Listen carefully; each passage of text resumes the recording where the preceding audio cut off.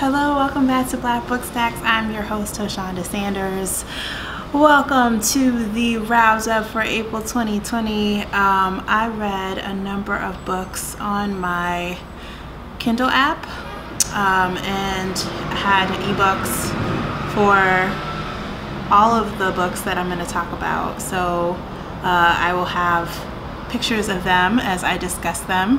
Um, but first, I want to thank you if you're a new subscriber. Welcome. It's so exciting to have you here. Um, I've been delighted by the reception that I've gotten to the new BookTube channel, so that's really exciting. Thank you for your support. Um, if you're not a subscriber, I would love to have you as one if you like what I'm talking about here. Um, and I will, with that, I'll just get started. So in April, um, I began by reading um, Jaquira, Jaquira, Jaquira Diaz, Jaquira, it's probably Jaquira Diaz. I feel more confident about that for some reason. Um, I've started reading her memoir, Ordinary Girls. Um, it's such a great memoir, so visceral.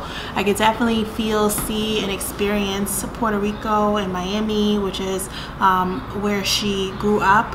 Um, the author, you know, was a, a kid, um, you know, kind of growing up in Puerto Rico with her parents. Her father um, dealt drugs. Her mom uh, was schizophrenic. Um, and so my mother had mental illnesses. Um, so I could relate to a lot in the book, um, which was both good and bad. It was um, more, I think, emotional than I anticipated because I didn't read reviews of the book. I saw uh, a feature on Jaquira, I guess it was in Times, um, but for whatever reason I just didn't have a chance to pick up the book. Um, then uh, I actually um, realized when I was looking up the cover that the paperback comes out in June. So um, if you haven't had a chance to pick it up, you should probably, probably look for the paperback um, since that's it's a really good um, cinematic memoir. Um, and uh, you know, not only are there not that many memoirs about um, like the Latinx community, um, like contemporary memoirs, right? Like I've read Sandra Cisneros, I've read you know, a, a, few others, but I feel like there hasn't been uh, a memoir of the contemporary Latinx experience. Um, and so, you know, I say that because she identifies as like a black Latinx person um, and is also queer. So that is, uh, that to me was really refreshing to see that there was this really complex um, story that wasn't what I guess most people would call trauma porn. It wasn't like, oh, let me show you how dysfunctional my life has been.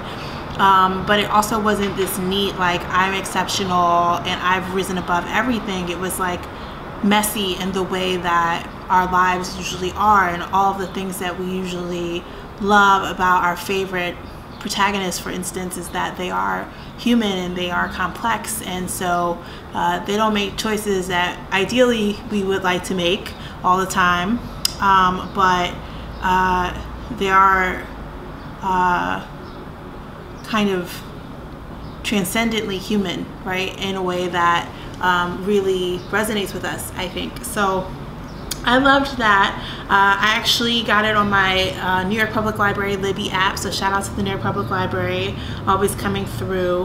Um, I sort of just like my reading on my phone. I'm just gonna say it. Like, it's not, there's not anything wrong with it. Um, I think reading on my phone is better than not reading at all, but um, I like to cut down on screen time, which these days feels like an arbitrary metric.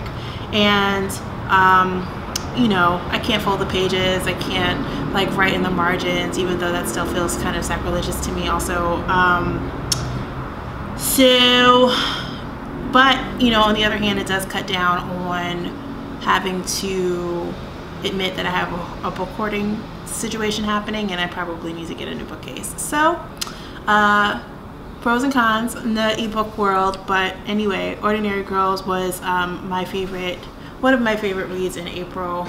Um, and so I highly recommend you check it out. Um, it is very moving and it is a really beautiful, well told memoir.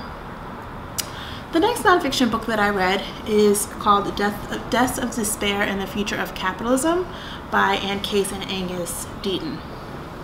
Uh, I think that the latter, uh, Angus Deaton, is actually Sir Angus Deaton. Um, I believe that he, they are both economists. I think he recently won the Nobel Prize in economics.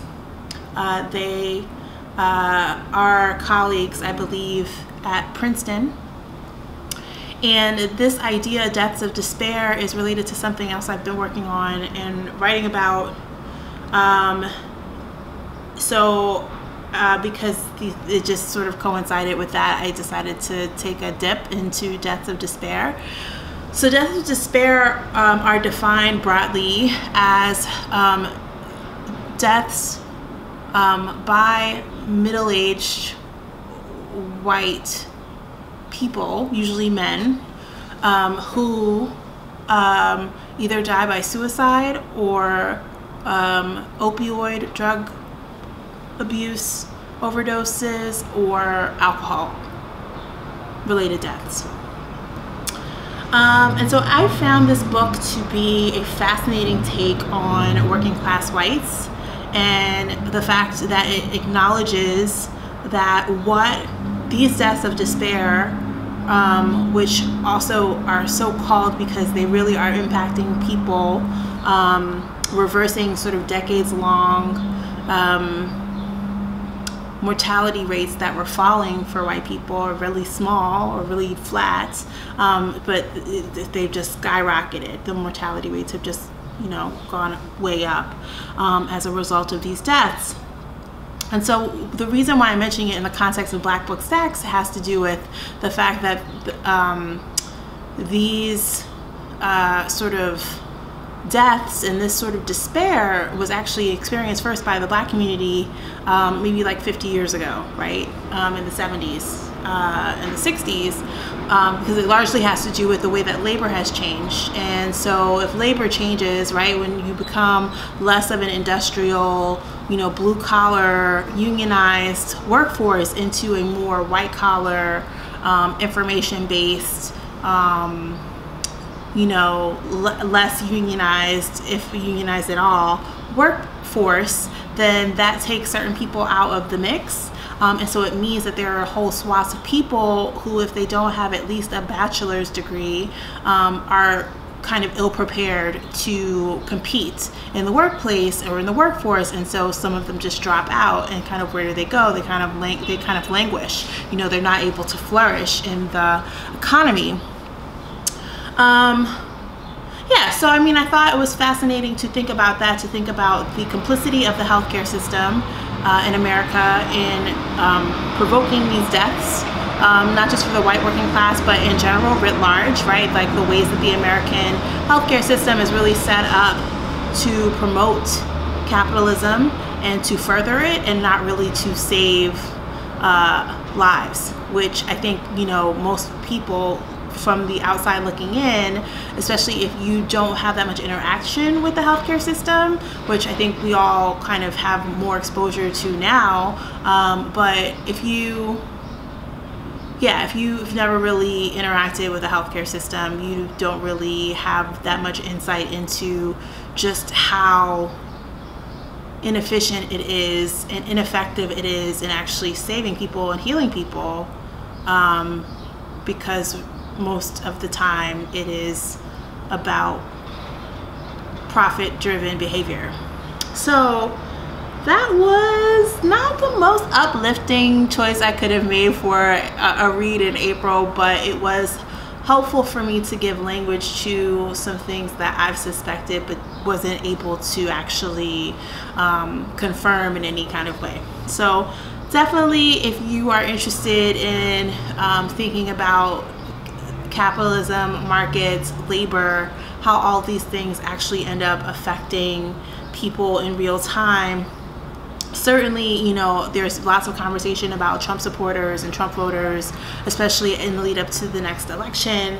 um, this I think gives some really important context to um, the values and the complaints um, that are coming out of those places.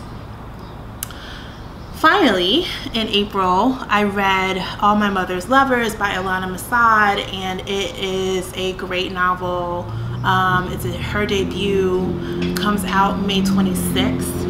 Um, and I'm going to be reviewing this one, so I'll save my opinions for that and share them in some other capacity, I guess, at some point, or you can look for it later. Um, but I want to say that this book, um, you know, essentially, like, spoiler alert, in case you're going to read it, it's about um, this main character whose mom dies, and she has her. Uh, she has letters. This her mom has written these letters to her lovers that her daughter then decides that she's going to go and distribute. Um, you know, mostly on the West Coast or you know, like in the West. They're they're based in like Oxnard, California. So she, you know, it's a great premise. Um, it's set up really nicely. Um, the main character, I feel some type of way about. Like I liked her. Um, I thought she was interesting.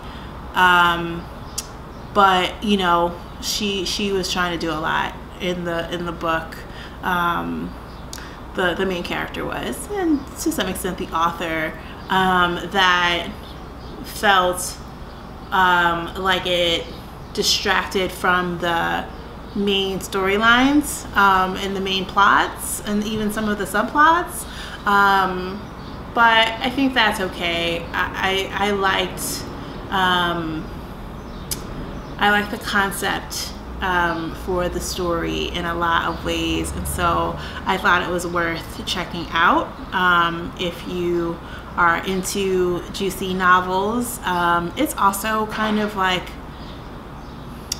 uh, you're probably sensing a theme, but it's a so it's a queer family.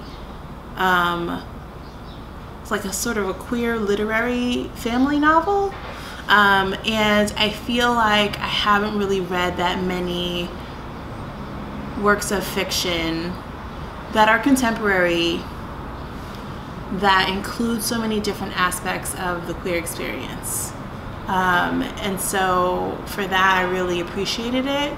Um, and yeah, so that's a, that was a cool one. That was a cool one to read. It kind of balanced out the the heaviness of the others. Um, you know, death is kind of death and drug addiction seem to be the the things that I uh, ended up being the themes of my reads in April for whatever reason. I guess I'm a glutton for punishment, but um, I have a book call for May that is decidedly more upbeat and happy. So uh, look for that next.